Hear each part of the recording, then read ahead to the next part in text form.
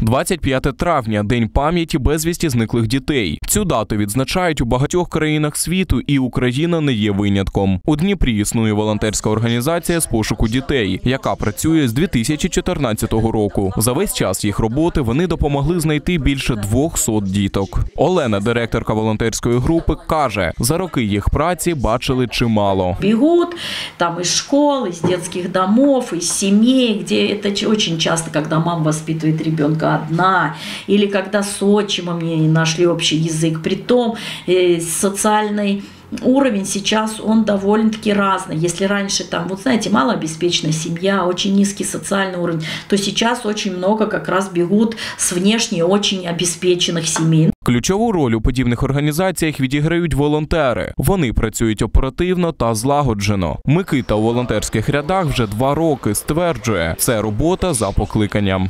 Для более быстрого реагирования полиция обращается тоже, когда нужно устраивать массовое прочесывание территории. Ну, полиция, возможно, не может выделить э, такой большой штат человек, но для прочесывания местности собираются волонтеры.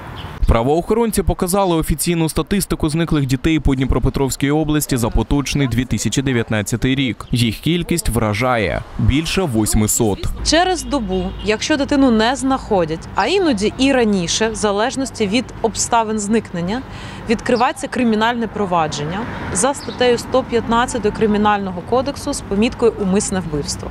Волонтери і правоохоронці залучають всіх охочих допомагати у пошуку дітей та не сторонитися, адже розшук зниклої дитини залежить від миттєвого реагування. Марко Ручка, Олександр Наумов, Дмитро Зверговський, Open News, телеканал відкритий.